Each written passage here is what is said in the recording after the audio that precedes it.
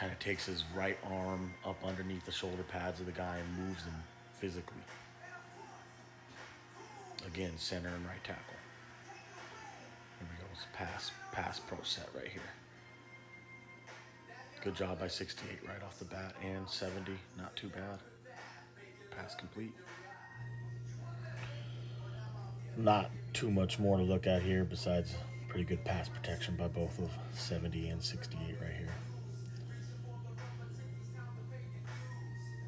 Again, 68 and 70 right tackle center. Right here you can see Fluker gets down there and immediately seals his man to the outside and jumps to the next level. Well, tries to jump to the next level.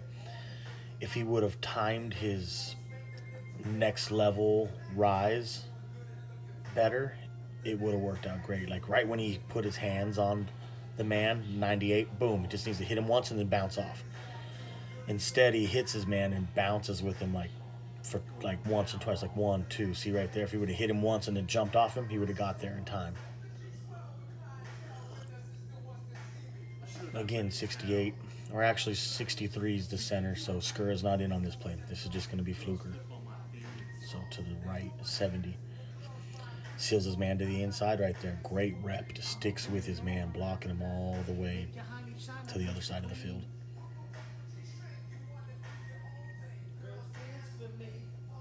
This will just be 70. Fluker pulls right here into the alley. Bam. Nice block by Fluker. Boom. Cleared him out.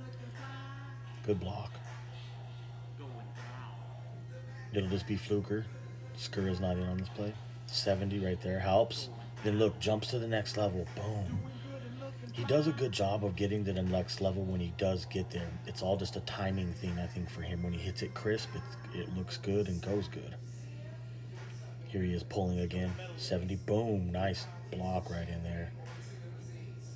He's agile enough to pull, and he's good enough to fill in for a couple of games. Maybe if um, Liam doesn't do good or gets hurt. Here we go. It's going to be 70. 63 is not Skura.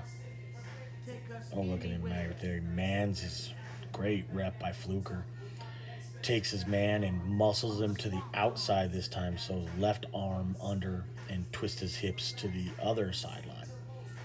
Good job. All right, here we go. Next play, Fluker, number 70, the right tackle is in. Skura not in on this play.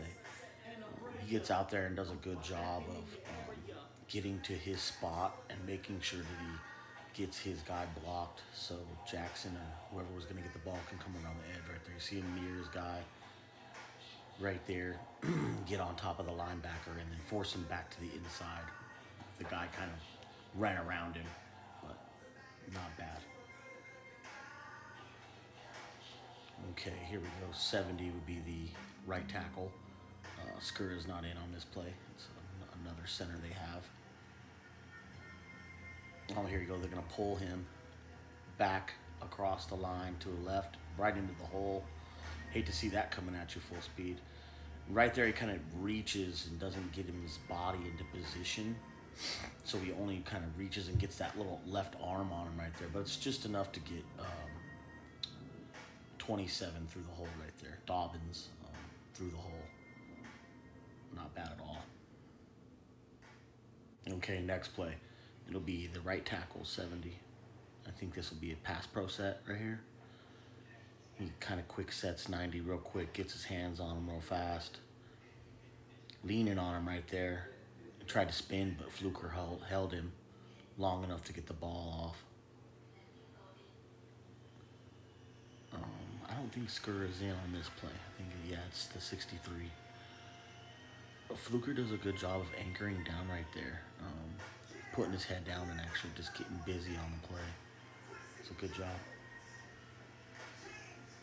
Like I've said before numerous times on my channel, I'm just a novice. So what I see is kind of how I explain it, but I'm not no expert. By far. Right here, 70 tries to quick set him. Look, he lunges and he gets beat. Um, that's a problem with Fluker is sometimes he gets caught um, reaching in the cookie jar like right here. He lunges and just totally whiffs on the guy right here. Whiff. That's no good. Okay, again, 70. The